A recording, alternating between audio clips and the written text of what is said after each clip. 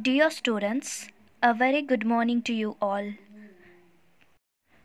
Today, let us continue with question number 7 from your workbook under the chapter Multiplication. Question number 7 The product of the largest two digit number by itself has dash digits.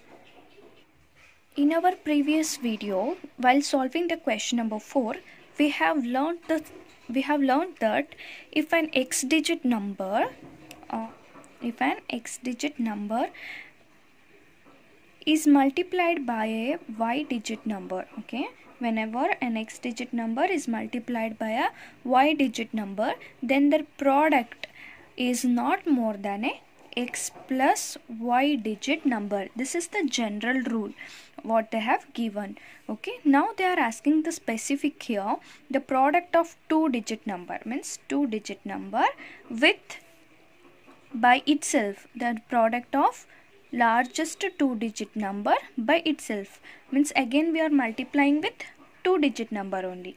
Then the product should be x plus y means 2 plus 2 2 plus 2 is 4 so it is a 4 digit number did you now understand this kids?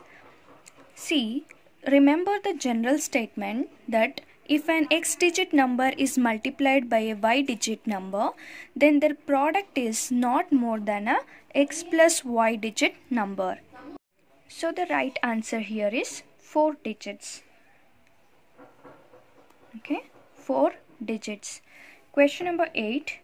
3215 multiplied by 23 is equal to dash into 3215 plus 3 into 3215.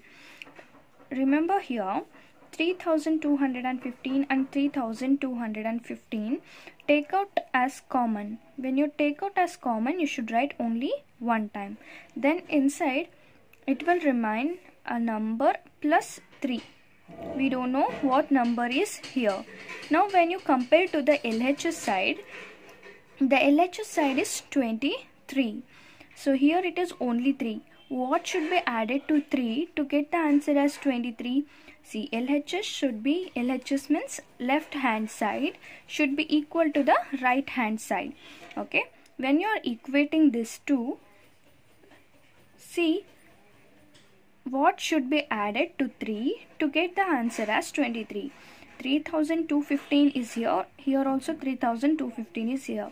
So 23 and here is only 3 then you can add 20 20 plus 3 it becomes 23 so the right answer is 20 come to question number 9 the digit in the ones place of the product 7045 into 173 is. Here they're asking the digit in the ones place. So just you can check it out by multiplying the ones digit numbers. No need to multiply the whole all the numbers. Just multiply the numbers which are in the ones place. 5 3s are 15 right? 5 3s are 15 in the 15 5 will be the answer in the ones place and 1 will become carry to tens place. So the right answer is 5. Come to question number 10. Find the product of 1000 and 100. See dear children, this is very simple question when the question is asked in the form of multiples of 10 then it is very easy. Just first multiply the numbers so 1 ones are 1. Just multiply the first digit that is highest place value number 1 and 1. 1 ones are 1. Remaining write down the number of zeros total number of zeros in the question. See 1, 2, 3, 4, 5. 5 zeros. Write down 5 zeros in the answer. 1, 2, 3, 4, 5. This is your answer that is 1 lakh product of 1000 and 100 is 1 lakh right similar to this question come to question number 11 in the question number 11 they are asking find the product of 30000 and 200 follow the same procedure follow the same steps First multiply the highest place value number that is 3 and 2. 3 2s are 6. Write down 6. Then write down the total number of zeros. See 1, 2, 3, 4, 5, 6. 6 zeros. 1, 2, 3, 4, 5, 6. Then write down the commas after 3 digits then after 2 digits. Okay. 60 lakh is your answer.